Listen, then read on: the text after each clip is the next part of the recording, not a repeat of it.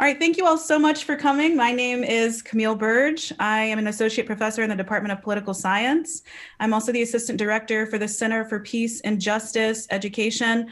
On behalf of the Center for Peace and Justice Education and the MLK Planning Day Committee, we thank you uh, for coming out to this event today, for coming out to Freedom Schools. Um, this is our second round of sessions. We have two more, one at 1245 and the last one uh, at 220. Um, so things being offered all day. But you're here today to hear from two very special people uh, Danielle Burns, who is a graduate student in the Department of Political Science, and Simon Brooks, who is an undergraduate student. And this morning, they will be speaking with us from the topic The Misremembering of American History, the story of America's moral decay. And I'll turn it over to them so that they can give their presentation. Thanks again and we look forward to interacting with you during the Q&A. All right, thank you, Dr. Burge, for that beautiful introduction. As she said, we will be discussing the misremembering of American history, the story of America's moral decay. So before we begin the presentation, I just want to let you guys know this will be more so a conversational lecture, um, pretty informal as we kind of produce and share this information with you all. So if you have a pressing question or anything like that, put it in the chat and we'll do our best to monitor it as we go. Um, and I also want to share a little bit about the origin of our presentation and kind of how this idea for this lecture came to be. So as we know, uh, the state of America that we find ourselves in today, we often find ourselves asking questions of how we got to this point in history. How did we arrive in this era? Especially academics like ourselves are const- constantly asking these questions. And for a lot of us, you know, especially marginalized and oppressed groups, when we think of different intersecting identities, have found themselves asking these questions since the beginning of our lifetimes. So we kind of are looking at it as a luxury to just now be asking about the legitimacy of ours of our country's fun, uh, foundation and fundamentals. Just now asking ourselves, you know, were the founding fathers that you know praised equality and justice for all were they legitimate when you had it when at this point in history you have you had people that were owning enslaved persons. So as we go through this timeline of American history, we want to look at the misremembering, the miseducation that we have faced throughout our education, primary and secondary, and how that has uh, caused us to go into this prog- into this progression of decay. So after that long introduction, uh, we are going to start this off with uh, a video of a quote by James Baldwin that could really be seen as kind of like the inspiration behind this lecture. Okay.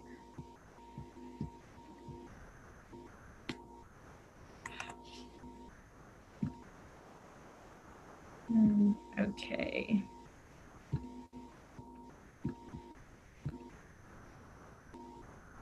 What's your role here? And there are days, this is one of them, when you wonder what your role is in this country and what your future is in it. How precisely you're going to reconcile yourself to your situation here and how you are going to communicate to the vast, heedless, unthinking, cruel, white majority that you are here. I'm terrified at the moral apathy, the death of the heart, which is happening in my country. These people have deluded themselves for so long, they really don't think I'm human. This on their conduct, not on what they say. And this means that they have become, in themselves, moral monsters. Okay. So back on. Here we go. Okay. So let's start from the beginning. So here I have a quote by Friedrich Nietzsche, very famous philosopher, and kind of like a picture collection of three symbols of periods throughout American history. So in the first picture, we have Christopher Columbus, which, you know, throughout our time periods and throughout our education has kind of been credited with the founding of America. uh, which we now know, especially as college students and faculty and staff, um, as a bit of miseducation in terms of the actual story of his history. Uh, the next picture we have is J. Edgar, excuse me, J. Edgar Hoover, who in his time period kind of believed he was his goal was to maintain the sanctity of uh, America, and his job was to do whatever was necessary in his eyes to preserve American democracy. And we have Donald Trump, which we all know now, living through that time period currently, credits himself with making America great again. So in this quote we have right here, it kind of questions the the duality and the philosophy of duality. And I think here we we ask ourselves, are we able to address the positives and the benefits of American society while also addressing America's errors? Can we address that at the same time our American founding fathers, the Constitution that we praise, has at the same time been oppressive to so many different groups throughout history. Okay. And Simon, if you want to take this away. Yeah, I. So you're saying that too, and it and it, it just brings to me this idea of um, of American exceptionalism, and I know we've talked about this a lot, Danielle, and it's it's mind-boggling to me um, how frequently we have people def- get so defensive, and and anytime we have this cycle, it seems. So it can be at any point in our life, it, it, obviously, because it's lasted all the way through now with, with Donald Trump, that we're, it seems as though we're making progress, but we're, we're really on this cycle of, of justice. And it's not really getting at the root um, until we start acknowledging that we've been very miseducated, mis, mis, um, misled, really. Um, and and people are not questioning it enough and not being willing to let let go of that defensive part. So when we think about um, you know Columbus in our history books and all these young children are are told to to uplift him and then half of those children would have been killed by by this hero you know it's it's very depressing almost and think back to the tone um, of of our video in the beginning the the tone it's it's kind of this mind-boggling uh, i'm just so frustrated. So so I, this quote we have of malcolm x though really um, puts it well. Uh, so he's speaking we're not americans we're africans who happen to be in america. We were kidnapped and brought here against our will from Africa. We did not, we didn't land on Plymouth Rock. That rock landed on us.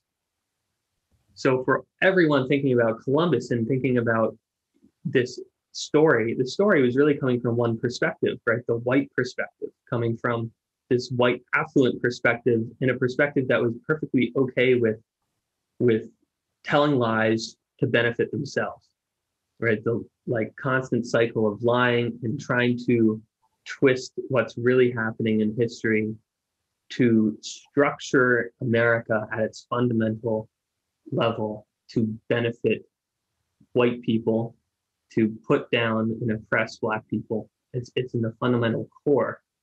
And even when we go in and, and try to acknowledge this, we still are met with protests and riots of people who are saying, you know, well, my grandfather fought in the, uh, you know, in this in the South, and like I'm proud of my grandfather. But it's like, why are you proud of your grandfather? Like, what?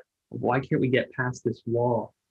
Um, so yeah, I, I think this is very, very important for us to understand that even from the foundation of the country, how we think the country is founded, was this American exceptionalism has rotted our educational perspective. Exactly. And going off of that, I think it's important that as we address um, the American education system, we address the nuances in describing these stories and how we, the rhetoric we, the rhetoric we use and how we address these stories uh, from history classes to government classes, how we talk about fundamental Supreme Court cases, how we talk about interviews and polling and studies that are done and the nuances behind them and the legitimacy behind the history that we've been taught. So if we look at, you know, talking about uh, the founding of America and the praise of colonialism without also addressing how the beauties of colonialism came at the expense of oppressed people, it came at the expense of enslaved persons, it came at the expense at the expense of brown and bodies ac- across the world, brown and black bodies across the world. Without the duality of these conversations, we're really creating an entire new history that you know does not capture the story that doesn't allow us to understand how we get from point A to point B because we've left out the details of the story. Okay, so as you know, we're at a university, we're college students, staff, faculty. It's really important to look at these stories from an educational perspective. So not just talking at them from school, but from an academic perspective that places a, you know, an essential hand on critical analysis of these types of um, these types of stories. So when we look at you know the constitution and it's saying that we are here for equality and justice for all and then you have the dred scott versus, uh, versus sandford uh, decision that says that the constitution is not made for black people. So you have these supreme court cases that are you know telling us that telling us that they're for the opposite of what the constitution says. So similar to that video james baldwin says I go based off of what you do and not what you say. So although we we attempt to hold up the sanctity of the Constitution and the founding fathers, we have to go based off of the the detailed and nuanced experiences and history rather than the quotes and phrases and the memoirs and the diaries. We really have to look at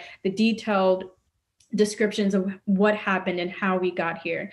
So that goes into uh, our next ruling of Brown v. Board of Education, which is kind of prompt up as, you know, one of the greatest, you know, rulings of all time, where it says, you know, separate but not equal is not okay. Uh, but we really want to get into what what was the reasoning for that ruling? Because if you take out that ruling it kind of props it up that america had gotten to this place of progression that they were against the jim crow south that they were against segregation that they were for equality for you know bettering of american society. When really you look at that ruling and you get something else. Uh, so you talk a little bit about the brown v board ruling yeah, I was just so Brown v. Board. I learned about this actually through a podcast with Malcolm Gladwell called Revisionist History. And I love the podcast because of this idea that he looks back at things in history that are often misunderstood or misremembered. And um, and Brown v. Board, the ruling uh, was not that you know we need to desegregate schools and and come together and unify. That's not the rationale for the the ruling. Um, it was actually that the court stated that black children were so inferior in that they could not learn because of their blackness. They were they were intrinsically flawed and needed the charity help.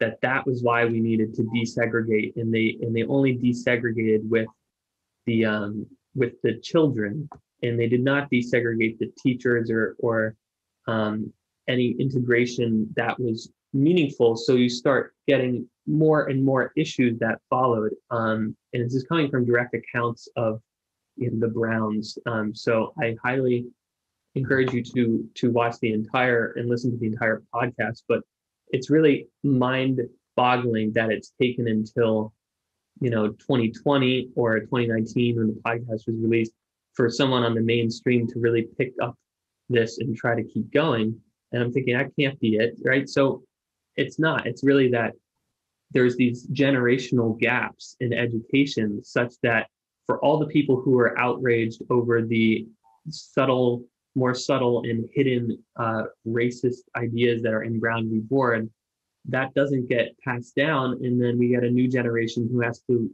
now learn it and get outraged themselves.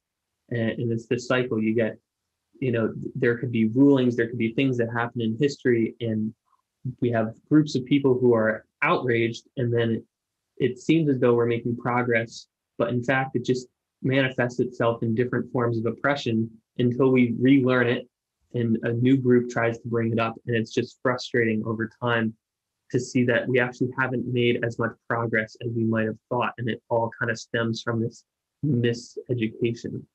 Um, kind of goes into slavery, and Danielle, you talk more about it. Just the American Constitution and slavery, like, like we think of slavery as this era in time that we've been able to kind of try to sell as we're getting over it or we're moving past it or let's do things to unify and and try to move on from it like slavery is just at the heart of everything in our policies today and it's it's not the same exact right? Like we, we know it's not the exact same enslaving of black and brown bodies but it's it's the same concept of severe oppression in different systems and those systems stem from slavery. Like you think of any wealth inequality and coming from someone who cannot make a wage because they're enslaved going up through these systems. Why are we now still having problems with drastic poverty for people of one race right of black americans why are they so much more heavily at risk of living in poverty and being born into poverty it's like you can draw it all the way back to slavery and all the way back to to policing. Um, so we're really not over it in the systems. It, I don't know why people keep keep discussing it as if we're like in this new era when the systems are in this new era are all representative of our systems from slavery. Right. And going off of what Simon says in terms of looking at slavery in the American Constitution, uh, you know, there's a famous quote that talks about, you know, we must teach and learn history so that history does not repeat itself. So that begs the question if we're not teaching history accurately, we're kind of leaving open the door to repeat these eras of society. So we're not teaching the ills, the violent history, the violent nature of um, the American past. We're leaving space. Um, for you know the violent nature of this past presidency to come up again. We're asking ourselves how did we get this? Haven't we moved past this? But if we're not teaching you know the youth if we're not you know rectifying our past as we go on we're not leaving the space for progress. You know it, it, there's this idea that you know the progress in america has been extremely one-sided and it's been one-sided in terms of the oppressor and not in terms of moral progress. It's not that we are more morally just today than we were during jim crow and segregation or more morally just today than we were you know during slavery. There were people back then that knew that this was wrong. There's this idea that you know uh, americans had to dehumanize their slaves. And i think i think of that as in a way a scapegoat because it gives this idea that you know these humans in no way could have done that to another human. In no way could they have saw this black individual as a human and still did that. We have to address it for what it is as there was a point in time in a society you know that people were harming their neighbors. And it's important to address that for what it is and to use the proper language in terms of hist- historical rhetoric that allows us to really understand what has happened so that we can move forward. As long as you know we kind of dance around that timeline it doesn't really give us any space or the opportunity to make progress there. And you know chris rock he he says it wonderfully uh, when he talks about civil rights movies and how we how we uh, present civil rights to the youth and to people growing up. And they kind of present it as a way that it's very fixable you know as racism is just you know there's there's just very few white people out there that just happen to not like black people or they're just a little rude or they just don't want to sit next to them at some tables or they want to drink out of different water fountains. There's a there's found there's a foundation behind the racism that we see in America and there's a concrete reason as to why it persists and to why it has been beneficial and why it has been preserved over centuries. So we're going to take a look at uh, this clip by Chris Rock very quickly. That face. Okay. That is usually.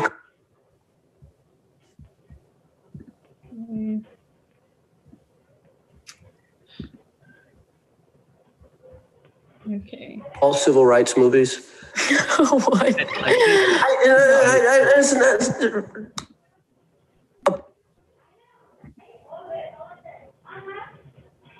There uh, uh, we go. There we go. Are you seeing the video, Simon?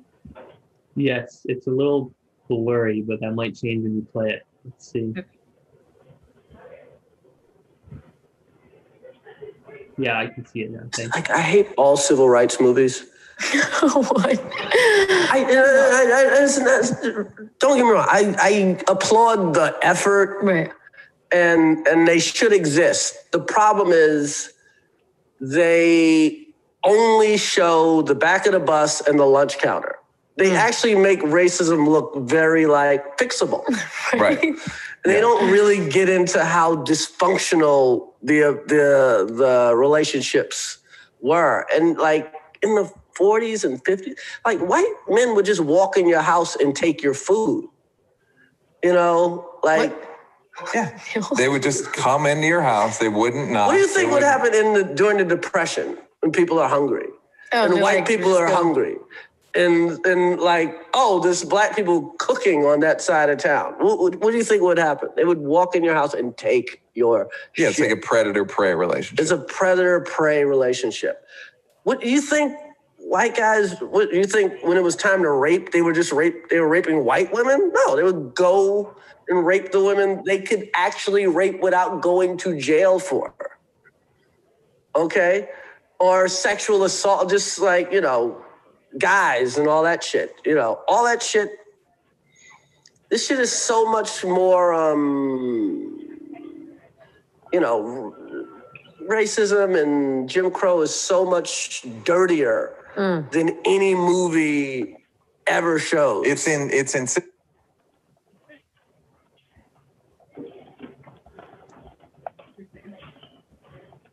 think about that too, Danielle, in that quote, and, and just how the media really functions as another form of education. So we think about media as its own sector, almost like its own economic sector, its own industry. Um, you know, but we all get educated through media, uh, whether it's through movies or news stories or articles, and it's it's kind of like it's this universal classroom of sorts for anyone who has access to media. You know, that's a lot of where the growth comes, especially once you're out of formal education. You know, unless you decide to take a course yourself, you're learning a lot about current events through media, and there's this history be, because of the fact that media is is historically controlled to tell the white narrative. There's this history of excusing racism, excusing sexism, and, and providing a lot of excuses a- along the way from the forefathers, from from any like the the people that we try to change the narratives of. That Danielle and I are hoping people like are able to learn these things and look at education in a different perspective it's almost like there's education in the formal sense, but then there's also this media that we need to combat as well. Of how do we look into these stories and how do we how do we make sure that what is presented as as factual isn't actually just this whitewashed version of history and, and not falling into that trap when we're when we're looking back and going through it could be movies it could be you know anything but there's a harsh reality and it seems like people don't want to admit how harsh uh, that reality really is of how black people are really treated. I, i'm not going to say were treated because it really is still going on today of how black people are treated in this country and why there is such an excuse when it when it comes. There's always you know black lives matter. Well let's think of blue lives matter all lives matter. There's always some sort of combative association and that is a form of education people that's how people get their information. They're going to get ed- miseducated in the media as well.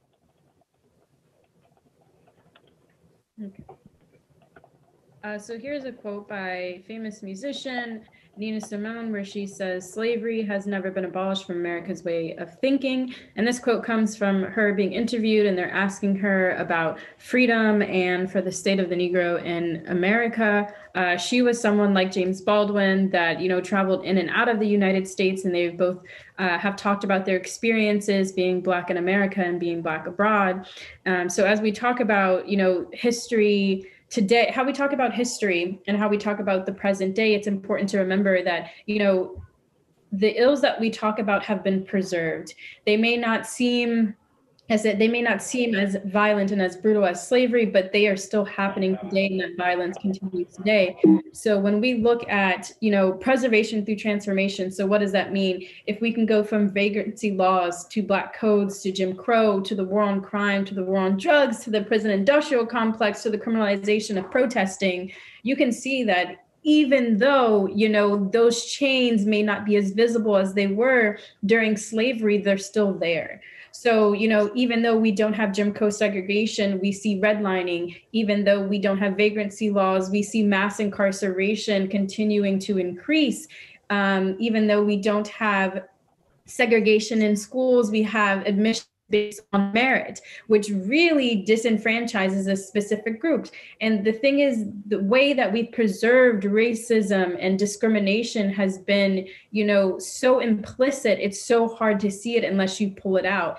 And the, the kind of the purpose here when we're talking about miseducation, miseducation happens, you know, when we leave holes in the story.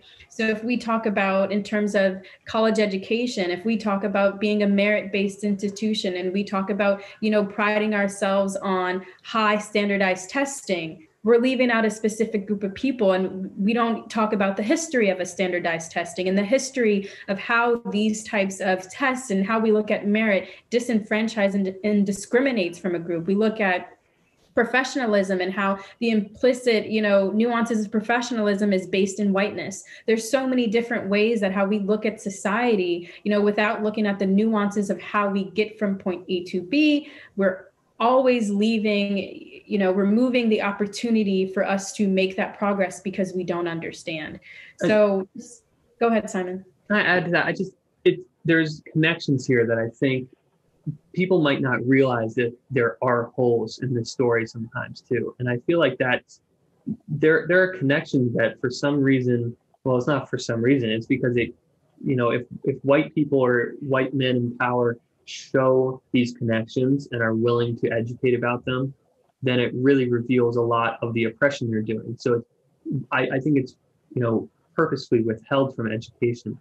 But for example, one one is um, you know, not a lot of people know that 88% of lawyers are white and 95% of prosecutors are white.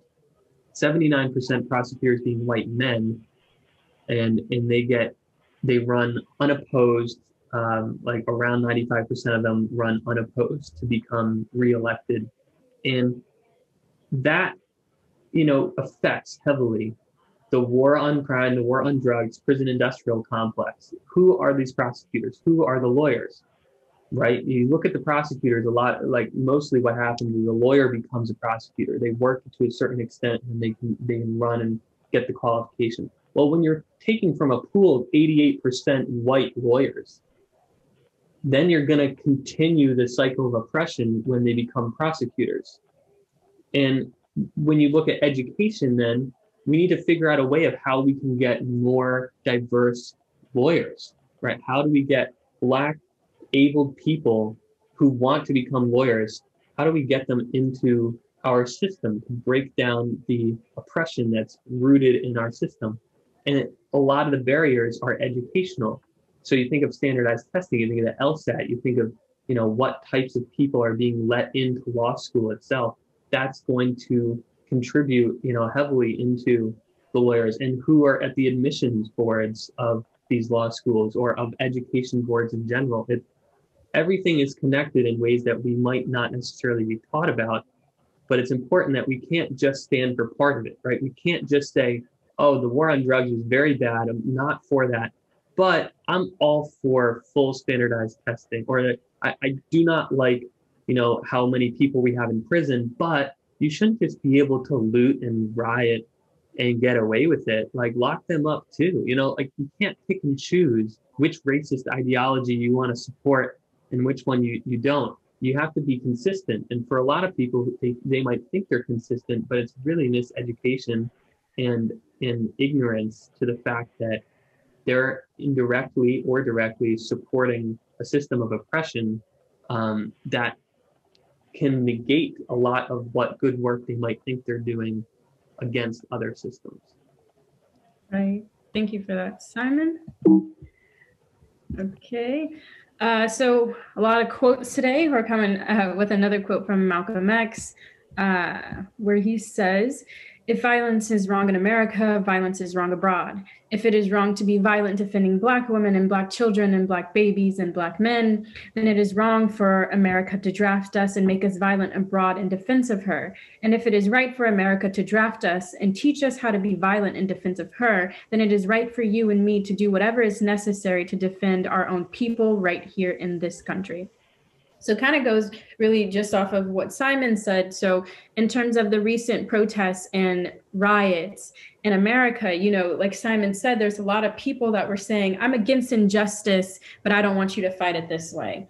I'm, a, I'm against police brutality and I'm against I'm against the killing of your people, but I would prefer if you were just a little bit more quiet in your protest or I'd prefer if you didn't block the roads while you were fighting for your freedoms. So it's important to look at when you're, you know, rejecting freedom for another person, you kind of have to reevaluate and look at yourself into why is it that i am okay with this this sense of duality that you know two these two things it's okay for them to exist at the same time where you know as americans it seems like we're okay setting timetables for people's freedom so instead of saying, you know, you're not free, let me contribute uh, to your freedom and let me contribute to your liberation, you know, we've said, you know, not everything happens overnight.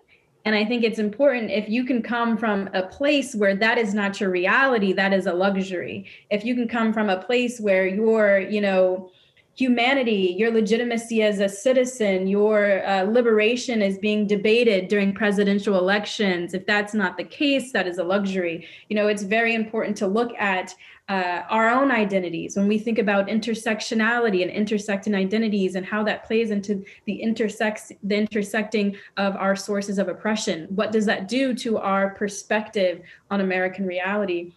So he talks about the violence uh, abroad versus the violence in America and the criminalization of peaceful protesting in America, the criminalization of the civil rights movement. Because now in textbooks, there's kind of, like Simon said earlier, this revisionist history of, you know, really praising Dr. King and really praising him as this great American symbol. And at the time, he was the most hated man in America.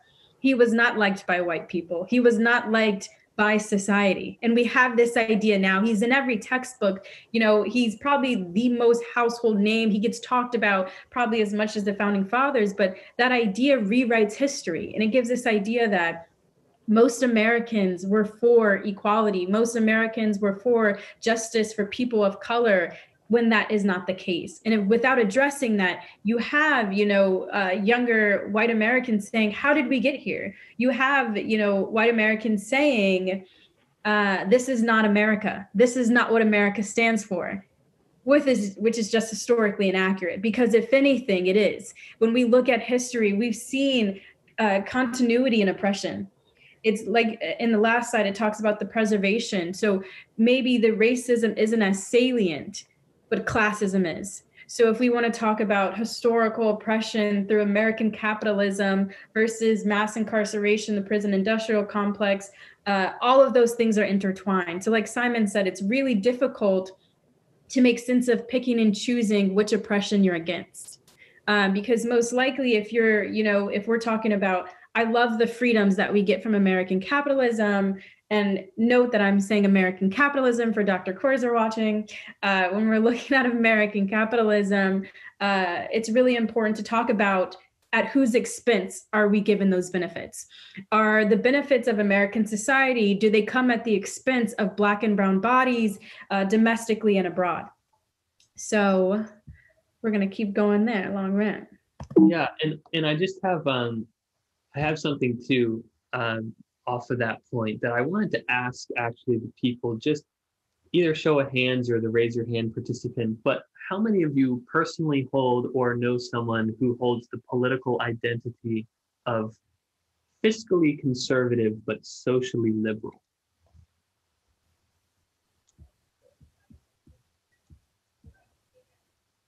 People heard that. I see some hands going up. Yes, okay, many more hands are starting to go up.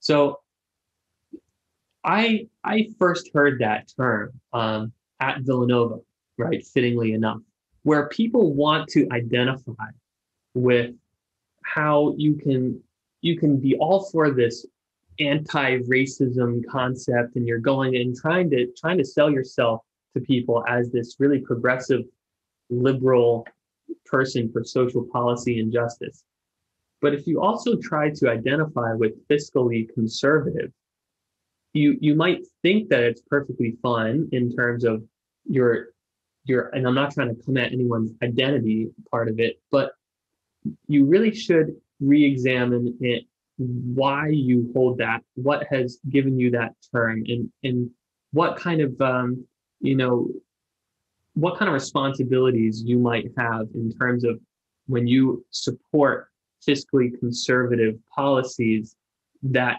also oppress the people you're trying to socially um, uplift right? So if you're for a fiscally conservative policy that allows for the continual oppression of people who cannot get out of poverty because of the wealth gap and they cannot afford health insurance because of their poverty and they cannot go get you know any proper um, education because it's all rooted in wealth inequality and redlining, forcing people in districts from the past. And all of a sudden, you start to realize there's a system in place. There's like two Americas. There's one that's fast tracked from you know for white people to to get an education and to benefit from these fiscally conservative policies. And then there's one for people who are not white in America who cannot ever get out of this fiscally conservative oppression unless we change our, our economic policies as well. We cannot try to liberate people and, and give them social freedom without also giving them money and giving them a quality of life fiscally, you know, financially for their children, for food. You can't choose between healthcare and food and also claim freedom from police brutality. You know, there's you need to to look at this whole picture and I'm really not trying to trying to attack anyone uh, who has the, this identity or this political um, ideology, but I do want you to consider what you've been taught and why that might be a proper thing to to believe, and potentially how that might be disguising uh, some oppression in our country. Okay, thank you for that, Simon. Okay, and that I think that is perfect. It brings us into Dr. King, who talks about this a lot, which uh, a lot of those quotes where he talks about what you just said don't get brought up on Martin Luther King Day. Uh, you usually only see a couple of quotes by Martin Luther King when he gets talked about, and kind of thinking of a theme for this uh, this lecture, the, really the whitewashing of the civil rights movement and especially Dr. King when we see, you know, I have a dream is the most uh, is the most popular speech by Dr. King, when in reality, you know, that's probably uh, one of his more uh, subtle speeches instead. Um, other than looking at I've been to the mountaintop or other speeches where he kind of or where he talks about, you know, like kind of the ills of capitalism, the ills of how our economy works in society. Um, but going based off of this quote here, it kind of talks about our earlier points into kind of like this uh, contradicting personality or this contradicting of um, political identity. So when we're thinking of what does it mean to be a moderate? What does it mean to be a centrist? What does it mean to be right wing or left wing? You know, we've, especially as we get older and speaking to the students here, we're trying to form our identities, trying to form our views. What do we value? What do we believe in? Uh, especially you know this past summer we've had to question you know what side of history will we be on? What what side it seems like people are asking themselves are they going to fight for? And i think this this quote is very it, it holds a lot of weight when dr king says i've almost reached the regrettable the regrettable conclusion that the negro's greatest stumbling block in his shreg toward freedom is not the white citizens counselor or the ku klux klanner but the white moderate who is more devoted to order than to justice. So as we've talked about uh, you know the presence of injustice in terms of oppression. Uh, I remember when I was a child, my father, who grew up in Oakland around the era of the Black Panthers, he always told me, you know, he, he wasn't worried about the open racists. He wasn't worried about, you know, the people in the hoods because he knew what they were. He knew what they stood for and he knew how to navigate that. What he worried about was the person that would smile in his face but voted for racist policies behind it behind his back. So what his worry, the same as this quote, is the white moderate. You know, the person in your class, you know, that is saying, you know, I understand that this is wrong, but we have to think about America, but without thinking about the people that occupy it and thinking of America on occupied land. So we have to really think about what do we what do we mean uh, when we're talking about these issues? What do we mean when we're saying socially liberal and fiscally conservative? And I think Simon said that really well. Uh, you know, it's really hard to be phys- fiscally conservative and thinking of these things while those policies, you know, are a detriment to social liberation for marginalized groups of people. Uh, so we just keep this quote in mind as we go throughout this presentation. Yes, okay. in, in, in the interest of in the interest of time, I, I, think we might not show this Kimberly Jones video, but I do think um, it is very important for everyone to watch um, at some point, and, and, I highly recommend watching it. You know, immediately following this talk, um, if you can. But basically, talking about, you know, at, at some point, a quote I'll bring out is just this idea that for her, it, you know, for Black people in America, they don't actually own these stores that people are complaining about the looting and the Black Lives Matter protests. It's it's not that they own they're not destroying this property that they own. They don't own any of this. This system is not benefiting them at all. And it's a perspective really big perspective change for anyone who hasn't seen this to think about think about what you owe people and what you own in america. And i know danielle can talk more about what we might owe people to to connect to other slides here too but but what do we own? What's ours? What's made for us? You know if the constitution is not made for black people then why is the target down the street made for black people or the or the police that has proven to not be made for black people? Why would we all of a sudden just trust that it is? You know this this ask there's a con- consistent ask for the most vulnerable to all of a sudden become trusting and to to believe that you know this time we're really trying to do something good and you have to believe us. We're on your side. It, it's perfectly reasonable and we should not get mad when people do not trust you know white people in power. When black people do not trust white people in power that is perfectly understandable. Um, because like how do we know if they they really do have a conscience when everything they've done has shown in the past that you know they really don't have a conscience or if they do they're actively choosing the violence and oppression of, against black people. Like what how can we expect and why do we put the burden on the the people being oppressed to try to change things? Uh, i think it goes really well into this quote. Um, D- daniel do you want to do you want to read this quote uh, sure. So this uh, quote is by Stokely Carmichael, now known as Kwame Ture, where uh, he says Dr. King's policy was if you are nonviolent, if you suffer, your opponent will see your suffering and will be moved to change his heart. That's very good. He only made one fallacious assumption. In order for nonviolence to work, your opponent must have a conscience. The United States has none.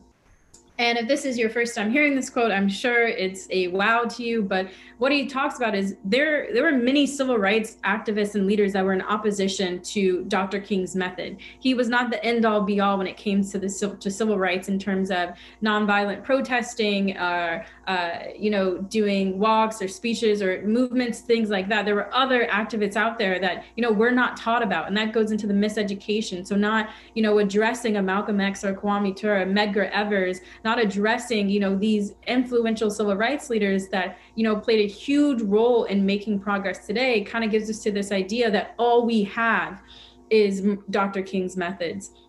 So what he talks about here in terms of in order for nonviolence to work, your opponent must have a, have a conscience. So when we're thinking about protest and how we got from, uh, you know, so-called peaceful protest, uh, peaceful protesting to riots and, you know, burning of buildings, you know, the the protests and riots didn't really get attention until you saw the first burning of the target after George Floyd, until you saw, you know, the destruction of property. You know, when you live in a capitalistic society, property has weight.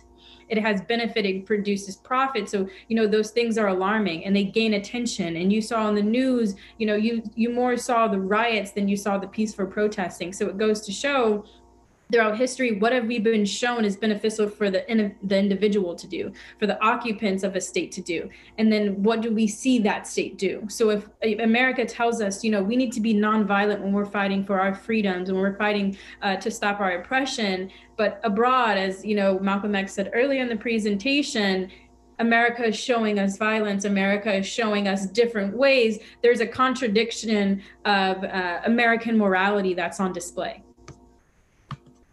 Okay, so looking at this from uh, historical perspectives, went from educational now, looking back from historical perspectives. Um, so we look at racial progress. We've been told, you know, racial progress. We we saw Barack Obama. Barack Obama became president of the United States. How does racism exist if a black man can become president? Uh, you know, um, Carol Anderson does a really good job in her book White Rage, where she talks about how racial progress is almost always met with white resistance. So you got President Barack Obama, and following that, you get a President Donald Trump. So when you get, you know, um, Reconstruction and you get those things, you see Black massacres, you see this pushback after Black progress. That there's always this kind, there's just pushback on progress um, from the side of the oppressors. Um, this is another quote by Chris Rock uh, that we thought uh, was a value where he talks about it's only progress for the person that's taking your humanity. So again, when we're looking at this progress being one-sided and who benefits from this progress, he goes on to say, if a woman is in an abusive relationship and her husband stops beating her, you wouldn't say she's made progress, right? But that's what we do with Black people. We're constantly told that we're making progress, he says. The relationship we're in, the arranged marriage that we're in, it's that we're getting beat less. You know so we really have to pay attention to when we're talking about racial progress when we're talking about the positives of america you have to look who is that progress at the expense of. Okay and we we talked about this a little bit so for the sake of time we're going to go over this one. Um, again on progress as we go through this idea of miseducation how we can progress uh, we look at this other quote from Malcolm X who says, If you stick a knife nine inches into my back and pull it out three inches, that is not progress. Even if you pull it all the way out, that is still not progress. Progress is healing the wound, and America hasn't even begun to pull out the knife. So when we're thinking of progress, this idea of unlearning the miseducation that we've been presented is the only way to really foster the progress, the legitimate progress that we speak of. For us to actually acknowledge that that knife is there that he speaks of, we have to know what we're dealing with. I think it's really hard for us as students, as faculty in higher education, to have these important discussions if we're not all coming from a common place of knowledge of what we believe American history to be. Okay, so uh, go ahead, Simon. Yeah, I, I mean, I just, I think that's very valuable. And I know I already kind of touched on this um, because I felt it was thought it was fitting at the time um, to bring it up. But I, I do just think, you know, where we draw the line, where do we, where do we see ourselves as taking part in these systems that are oppressive and miseducating, whether it's through media or through formal education at Villanova here, um, you know, or just conversations you have with people. Like, what type of conversations are you having? What type of perspectives are you open to? You know and, and, are you willing to admit that potentially you right have been misled miseducated in your history in your education or even from your family right? Like like you might revere some people in your family as being great american heroes. Oh it's my automatic light sorry. Uh, you might revere some some people in your in your history uh, of your family being great american heroes but but maybe you have to take a step and realize that you know, the, hip- the hypocrisy that is embedded in America that is so deeply that you might need to, to, to consider where you are and how to get away from it. You know, we're, we would rather live right now in a country collectively, it's proven that we'd rather live in a country that makes it possible for the idea of becoming a billionaire, right? Than educating children, than giving children food to eat, you know, than taking these ideas of you know, these constructs really uh, that are oppressive in nature and really getting at them head on. We would rather keep everything just for the concept to be, you know, let's make a lot of money, let's be a world leader and billionaires and military. And why? Like, where are our priorities, you know, as a country, if that's what it is? If if it's if we can't knock down a federal, you know, uh, a statue of some Confederate general, you know, or rename something after that's rooted in bigotry and hatred, if we can't even agree to rename it, right? Why, where does that come from? And what hypocrisy are we showing when, when we're trying to, to, to generate this next level of improvement and progress? And, and how do we prevent ourselves from cycling and, and just going on another cycle, right? We have to break the cycle somehow. And, and I think that's kind of what we're getting at here towards the end of, of what can we do? What, how can we empower each other and ourselves to actively unlearn, uh, actively unlearn, you know, these problematic oppressive views. Um, right. So thank you for that, Simon. And uh, as we review this timeline and as we wrap up, we have a couple of just topics to review and then questions to ask. So uh, reviewing this literature and preparing for this presentation, I, I, found this really interesting that it seems like we're trapped between what we would like to be and what we actually are in America. And we are kind of dealing with that duality because we don't really know what we are. We think we're something, but you know, we really haven't uh, reflected enough or had enough critical analysis to address what we really are as a society. What does it really mean to be American? um, as often scholars ask themselves, what does it mean to be white? What is whiteness? What is blackness in America? What are these things? And until we understand them and until we understand the uh, converging identities and the different aspects and the power hierarchies that was on the last slide uh, what what does that mean? And you know it says we cannot live the lives we would like to without questioning our own history without a critical analysis and looking at a historical through a historical lens of american society can we truly be what americans think and say we are.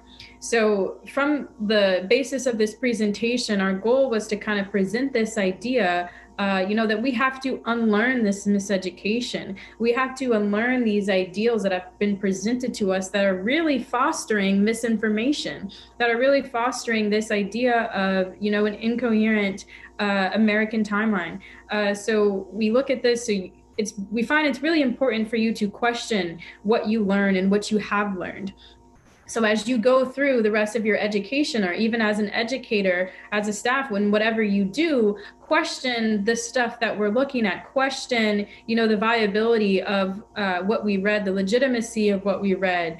Um, when we look at how do we get from point A to B, looking at timelines and how we got there, nothing, you know, just happens in history. Uh, there's a whole field called history. And it's important because we know that the history of things have value and they allow us to predict and to look at the future. Uh, we think it's also important to talk about accountability uh, and you know where should we place accountability? Where is the responsibility on making these progressions? And especially like simon said uh, what do we owe each other? Uh, that's an important question that we have to ask, especially when doing this type of research and doing this type of unlearning.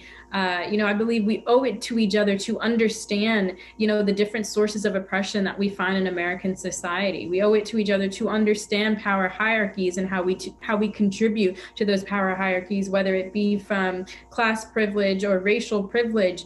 Uh, you know, we owe it to each other to dismantle these systems and sources of oppression that are still weighing on oppressed and marginalized groups across the world you know what do we owe it what do we owe to people abroad as americans?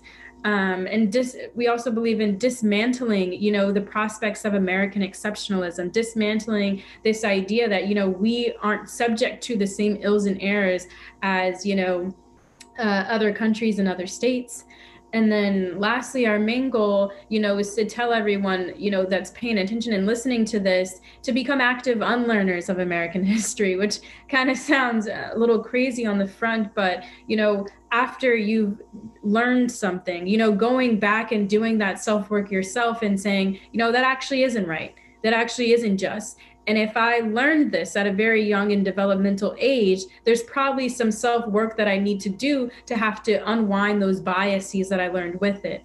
Uh, you know, Jane Elliott says, she assumes that most people that grow up in an American education system have racist ideologies and her interviewer you know was confused and saying you know not all americans are racist but she was saying if you've grown up and you've only seen the side of history that's written by the victor you've only seen the side of history that's written by the winner that's written by the people that have committed these ills it's almost impossible for you to truly understand the full picture and in that it's impossible to really you know have a uh, diversified and justified understanding of society. Uh, yeah, no, yeah, thank you. No, thank you, Danielle. And and I really just want to take the last minute here to thank Danielle for for coming to me with um, you know, just hitting me up in the fall, being like, "Yo, we should do a freedom school. We really got something here. We gotta we gotta share this." And I think I think it really takes you know leaders. We have to we have to get the next generation of leaders and, and think about a sustainable framework, right? If we want our country to really grow and it needs to be sustainable, meaning the next generation and generations after need to have some footing where they can make progress. We cannot continue this cycle.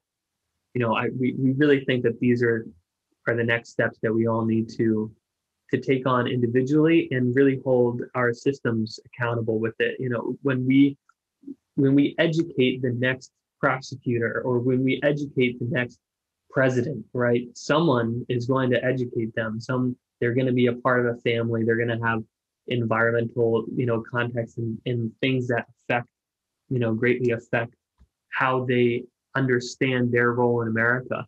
They need to understand what's come before, and they need to have an accurate, uh, you know, education as accurate as we can get.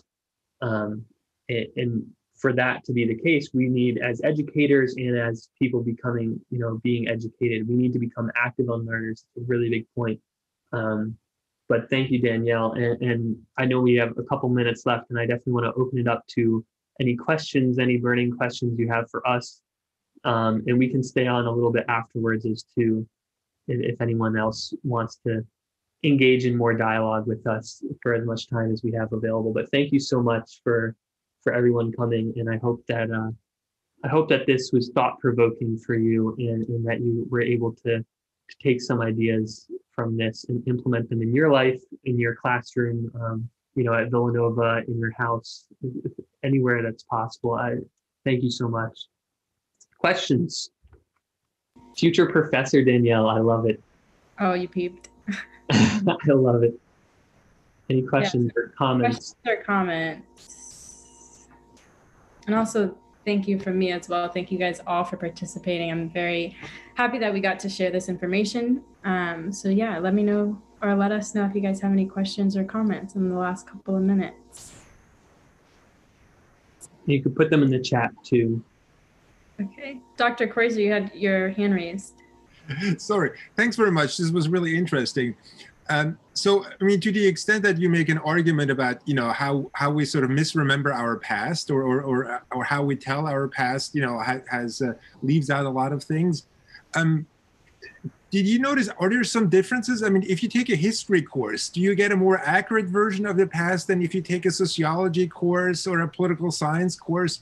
I mean, which I mean, you, you, your sort of was a call for action, right? I mean, get to know your your your past a little bit better um, which disciplines, in your opinion, are doing a better job than others? Interesting question. Interesting question. Um, I'll say this: I think that in every discipline, you're getting uh, you're getting a timeline from a different perspective, and I think that it's important to piece those together to gain a more complete picture. Um, I think, in my experience, not to pat our department on the back, uh, I think that in some courses they've done a really good job. You know, if I think departments that center intersectionality have done a better job of gaining a more complete timeline and a more complete history. Um, in my experience, um, I've taken classes that have had that focus on um, on creating a more complete history. So, of course, Professor Giesberg within the history department, she addresses uh, the five different takes that histor- that histori- uh, historians, excuse me, look at when they're trying to complete a timeline. Um, so it's looking at context, character, um, conceptualizing what's going on. So I'd say in my experience, probably uh, the field of history, um, because they look at five different um, subjects before putting together one timeline. Um, yeah, I, and um, and I would I would agree, um, but I would also say it really depends on the professor, and the professor's impact in the classroom is unmatched, right? If you have a really strong professor and strong leader, um, that does so much more than a curriculum that might be better designed on paper. I think I, I think it, it makes a big difference. There's one, I mean, you know, I, am particularly familiar with German history that has, you know, just as dark as a past as, as, as American history. And one of the takeaway lessons for Germans is that they are proud not to be proud. Yes. Right? Yes. I think that's sort of a nice way of, of, of, of, of, of, of putting it. Yeah. Yeah, exactly. And, and Great job, guys. Thank. Thank you. And, and I, I see Cliff raised his hand too. And we have before that someone in the chat, Samantha, put in to you all, where does the unlearning of American history begin? And I would say um, it begins with each of us, but it really begins with getting it, on a large scale as many people who hold positions of power it, to hold them accountable to get them to understand more. Um, I think education and then industry and politics, there's a big divide it seems as though a lot of people get educated and, and, there's a lot of great things, but then there's also this world out there that controls the economy, that controls like so much more in power. And there needs to be a better connection between unlearning in the classroom and then really unlearning and recognizing and changing policy and taking it into action in our in our systems and our really broken systems. So um, it, I would say it starts with with each of us, but it really starts with us you know, vowing to take these into the workplace and vowing to spread the word. And and there's not one thing I would try to particularly unlearn first. It would just be a mindset shift, asking why we've learned this and things like that. And it starts with each of us, and it starts with bringing it and branching it out from just the classroom into the industries, into the oppressive systems that exist. Uh, Cliff. Yeah, thank you. Um, I have like a comment slash question that I'd like to hear y'all's thoughts on because I feel that um I feel that as much as like the content of our educational system is altered um, intentionally, I feel like we can even see um, how the structure of our education system is meant to um, disenfranchise people with, I guess, like, like what are y'all's thoughts on like how the American education system structures the relationship between professors and students or teachers and students? And um, i guess as much as the uh, the power differences in america with other countries and other like marginalized groups like the power differences between like power differences within a classroom? Um, that's a really interesting question and i hope i can answer it. Um, i think that when we look at so this entire presentation was talking about misremembering and miseducation. I think that it's important to talk about how majority of that is intentional. So when we're thinking about the relationship between uh, you know professors and teachers and kind of like a power discrepancy um, it's intentional. That you know when we talk when we talk about these things the history is changed intentionally. It wasn't like one teacher decided, you know, it'd be really nice if we said Christopher Columbus did this when he really didn't. It's right. intentional and it comes from the top. When we think of power hierarchies, it's important to look at how these sources of impression of oppressions are intertwined so we can talk about you know racial discrimination economic disparities but also educational gaps and also revisionist histories they're all combined and they come from the same source um, so I think that that kind of goes into the sense of where does that miseducation come from and why we have these power discrepancies. So it, it was really important for me and Simon to have this lecture be a little bit more conversational uh, between us so that, you know, we're kind of normalizing that idea of you know, it's not me telling you this is this. It's me, you know, uh, kind of giving you that nudge for you to fall into what you believe to be active unlearning. I think that that's really important in education. I think my uh, most influential classes with some of my professors being on this call, uh, they really gave that space for you to take on what you were learning, uh, for you to um, really dive into the prompts and dive into the readings and the topics that we discuss. Um, it gives you more space to really find out what you believe instead of falling into. Um, what just simply what a textbook says or simply what an author has presented. I think the best educators are the ones that say, how do you disagree with the author? How do you uh, look at what they said? What critiques do you have of this lesson? What critiques do you have of me? I, I think, again, not to pat myself on the back for the political science department, um, but I think I see it a lot in my in my courses that you know it's really giving the space for you to develop your own perceptions. Um, and not to rant too long on this, but I'll wrap it up. Uh, something that we say uh, in terms of graduate classes, at some point you're a consumer of knowledge and after you've reached a certain point, you want to be a producer of knowledge. And I think that's where unlearning comes in. Uh, unlearning is very similar to producing knowledge. You're unlearning what society has told you to be true and deciding for yourself. Not that you're just not believing anything, we're not there, but for you, for deciding yourself, you know, how accurate is uh, the information that I'm being told. Yeah, and if I could add to that too, I'd like to think about it in a different, uh, a little bit of a different frame set too, because I, I stand by everything that Danielle just said.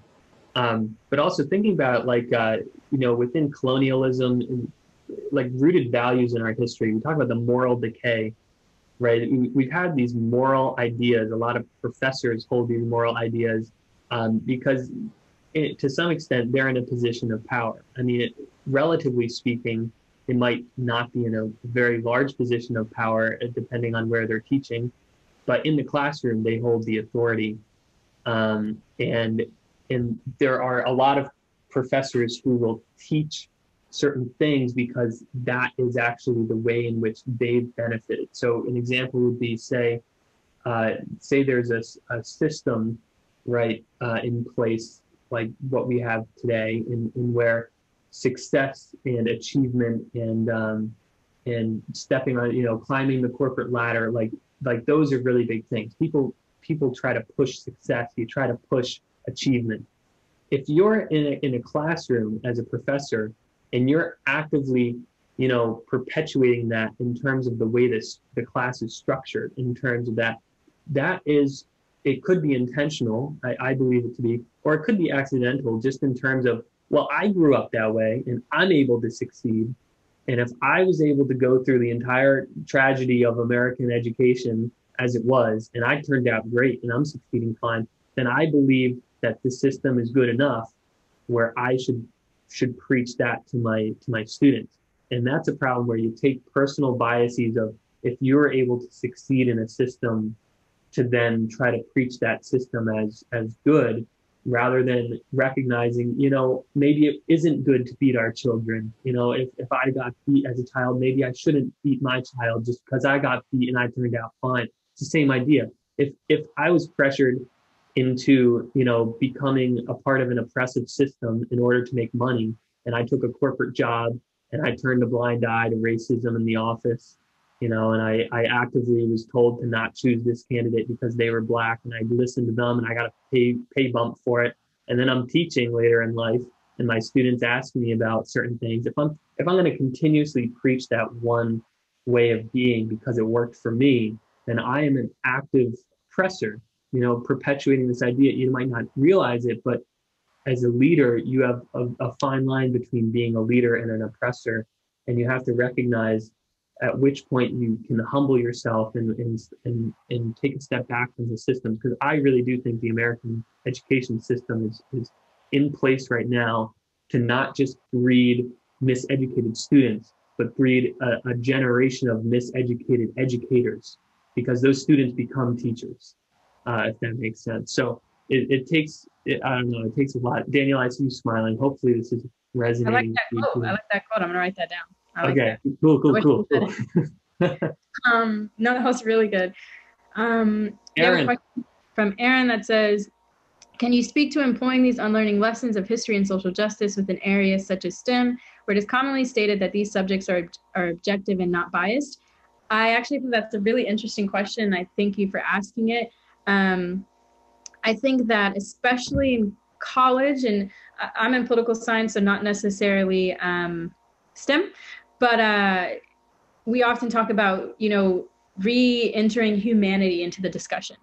So a lot of times, especially in college, we're looking at statistics, we're looking at numbers, we're doing quantitative research methods. It really takes the humanity out of subjects. And I think what you know we have to do when we're looking at sciences or engineering or you know, especially like within the business school that that number is a person so you know it, it's so easy to dehumanize people without even recognizing it it really is in terms of uh, rhetoric and how we look at and how we analyze data um, I, I I do a lot of research now, and I think it's important that we don't just always do quantitative measures. That we look at qualitative and we look at ethnography and uh, different types of research, so that you know you're remembering how to reinsert the humanity into a discussion. So uh, I don't I don't know if that necessarily answered your question, but I think that uh, maybe Simon, you're you're in STEM. I, I am in STEM, yeah. And what first came to mind was within the classroom, but I think it also will apply in industries like STEM jobs too.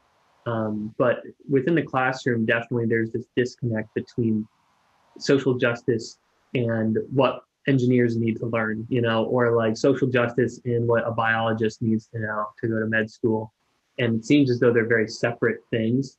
I think that might be the first step is to really understand the intersectionality between STEM and social justice. You know, like when we make technological improvements and we try to to do great things, you can see it now with AI and facial recognition. You know, it, there is in, there's this innate bias in racism that comes with it if we do not address the the issues early on. You're going to get a subset of engineers, you know, designing things that are going to disproportionately benefit white people if you do not actively teach anti-racism in the classroom for engineers too. Um, and then if you think about you know med school, right? If you have a bunch of people in STEM aiming to become doctors, you know, it's well documented now that we have racist doctors, a racist healthcare system. When you know, if we consider that STEM for sure, it, those doctors aren't just one day you know, born or, or just like realizing, you know what, I'm just not going to give pain medicine to a black woman. Just like, I'm just going to decide to, no, it's like ingrained in them, you know, and, and it's, and it's part, of the miseducation. So I think within STEM, there's a lot of overlap that's commonly ignored. And also within a company, you know, what, what are the charities the company donates to? What's the financial you know, incentive for safety policies? Are they willing to turn a blind eye for, you know, if it puts a local area that's mostly black in danger versus a local area that's mostly affluent and white in danger? You know, if, if there's different policies or different spending accounts, there's things you can question within the, the, the STEM uh, profession and industry too. But I think it all is rooted in the classroom and really it just comes from a disconnect um, you know, those subjects are objective and not biased. It's really just comes from people who are not wanting and not willing to engage. And you have to tell them there's a big overlap. There's a big overlap. If you want to produce an engineer or you want to produce a scientist that's going to go into the world and make a really, eh, you know, drastic uh, improvement of justice, right? We talk about, in my mind, what's one of our big global or at least national ideals, hopefully, would be that we're all going to be able to peacefully live in a just society. You know, like this arc of the moral, the moral universe is like bends towards justice, right? To quote MLK, like if we're going towards justice, we all have a role in that. And if we're deciding that people in STEM are all of a sudden separate from that and they're going and trying to fix certain problems, but they're not involved in justice at all, then it's a huge disservice to future generations when all of a sudden these technical innovations are oppressive systems that are being created right now from people who have not been taught you know anti-racism and things like that so hopefully that that helps and connects a little bit to your question aaron also great to see you because aaron and i are are villanova chemical engineering uh, products of chemical engineering department, I'll say. Okay, thank you for that, Simon. Do we have Aaron? Um, thank you for that. Do you have any more uh, question or comments? Okay, well, if not, I want to thank you guys all so much for participating in this session. We are so glad to have you. Um, if you have any question or comments, um, feel free to email, chat with us. Um, this is going to be posted towards the Freedom School link, so you'll be able to revisit this session at any time, um, which will have the presentation in it. Uh, so thank you all so much for coming. Um, yeah, and like I said, if you have any other questions or comments that you prefer to uh, talk to us about that personally, feel free to email or contact us. Thank you all. Thank you all so much. Salma, so good to Thank see you.